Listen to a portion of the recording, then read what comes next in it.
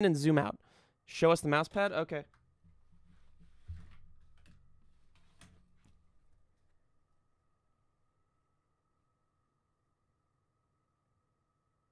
Pretty sick, right?